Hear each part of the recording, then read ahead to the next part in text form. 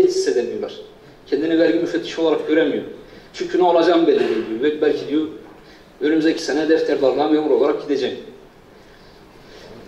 Kurul açısından sağ sıkıntısı e, biz hep şunu söyledik. Dedik ki vergi incelemesi bir meslektir. Meslek dediğiniz şey de sınavlara girerek, kitaplardan okuyarak öğrenilmez. Bizzat olayın içinde olacaksınız. Pratiğini yapacaksınız. O taş dosyasının tozunu yutacaksınız. İşte mükellefle muhasebecisiyle oturacaksınız. Belki gideceksiniz, işletmesini göreceksiniz. Tüm hususları görerek meslek öğrenilir. Dolayısıyla siz bu hususları nerede yapıyorsunuz? Refakat eğitiminde. Fakat sistemi bu sınavlara kurarsanız, sınavlara esas alarak kurarsanız refakat eğitimleri ister istemez bir adım, iki adım, üç adım geride kalıyor. Şimdi meslektaşım, genç arkadaşım benim gözümün içine bakıyor. Ya üstad beni bıraksa da ben gitsem sınava çalışsın. Ne haklı? Ne diyeceksin? Dolayısıyla bu sistemin baştan aşağı A'dan Z'ye oturulup tekrardan tartışılması, konuşulması ve bu meslektaşlarımızı hem kurula aidiyet hissettirecek sistemin yeniden kurulması gerekir. Bu sistemde bizim insan haklarına sığar. Çünkü yoğun bir psikolojik baskı var.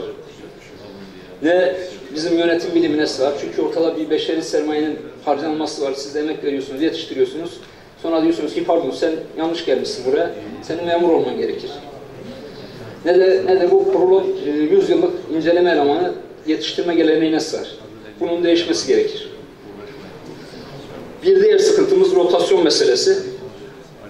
Şimdi siz de sıkıyoruz ama sıkıntılarımız da bunların da inşallah bu, bu, bura, burada kalmaz, bu karar alıcı mercilere ulaşır. Rotasyon meselesi var. Rotasyon nedir? Belli dönemlerde tayininiz çıkar. Şimdi biz 29 yılda görevliyiz. Çok güzel. 81 yılda vazife yapıyoruz. Nasıl oluyor bu? Turneyle gidiyoruz. A şehrinde, B şehrinde, C şehrinde her neyse. E, biz bunu daha da azaltalım. Türkiye'nin vergi gelirlerini üreten iller belli. Biz azaltalım. 7 yıl, 8 yıl, 9 yıl her neyse. Buralarda toplanalım. Yine turneyle çalışalım. 3 ay, 6 ay, 9 ay. Bizim turneyle ilgili hiçbir sorunumuz yok. Şu an Türkiye Cumhuriyeti'nden uzak mesafe 2 saat. İzmir'den uçağa binersiniz, 2 saat sonra Erzurum'dasınız. Şimdi hal böyleyken, artık mesafeler anlamını yitirmişken, e, bilgi teknolojisi almış başına gitmişken, bürolar bile anlamını yitirmişken, çünkü ben evimden oturup Gelir İdaresi internet sitesine bağlanabiliyorum. Vergi Denetim Kurulu'nun sitesine bağlanabiliyorum.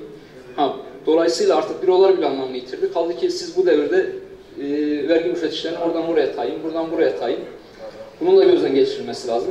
Artık vergi müfettişleri olarak biz yerleşik hayata geçmek istiyoruz. Türkler geçti ama biz hala geçemedik. Böyle bir durum var. Üçüncü bir husus özlük hakları meselesi. Osman Hocam ön tarafta yerimiz var hocam. Sayın Altı Hocam. Buyurun. Özlük hakları meselesi şu an e, personel devir hızının en yüksek olduğu kurumların başında vergi denetim kurulu geliyor maalesef. Çünkü sendikaların açıkladığı bir yoksulluk sınırı var. Siz 8 yıllık 10 yıllık bir vergi müfettişine bu, bu emsalde bir ücret verirseniz oradan nitelikli personel tutmanızın imkanı yok. Bu sebeple özlük haklarına yönelik de bir değerlendirme ve gözden geçirmenin yapılması gerekir. Peki tüm bu sıkıntılara rağmen vergi denetim kurulu ne aşamada? Burada da 2013, 2014 ve 2015 yılı vergi inceleme sonuçları var. 2011 ve 2012 yılı bir geçiş süreciydi. Çok e, daha kurul yeni oturuyordu vesaire bu tip sıkıntılar vardı ama 2013 yılından itibaren tek çatının verimi alınmaya başlandı.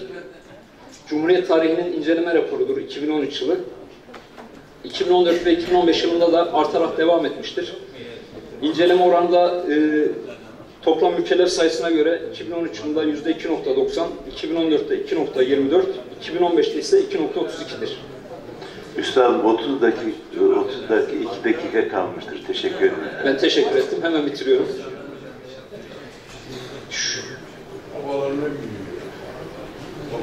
Hocam, e, Osman Hocam e, şöyle bir oturursanız sayın konuşmacı konsantrasyonu bozuldu. Yani hoca girince tabii savaşıyor. Hocama bir alkış yapalım da. Hoş geldin hocam.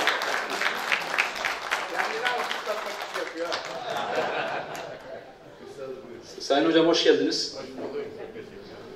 Ee, biraz önceki tabloda gösterdiğimiz 4000 vergi müfettiş yardımcısı var. Onlar da bu e, denetim gücüne katıldıkları zaman bu rakamlar çok daha ilerilere, çok daha yukarılara taşınacak. Dolayısıyla vergi denetim kurulu başarılıdır. Yoluna emin adımlarla devam ediyor. Maya tutmuştur. Artık bu işten dönüş de yoktur. Ee, bu eksikliklerimiz, yanlışlarımız neredeyse bizim bunları oturup konuşmamız lazım. Bu işi daha ileriye nasıl götürürüz, ne yapmamız gerekiyor bunları tartışmamız lazım. Ben hepinize teşekkür ediyorum. Saygılar.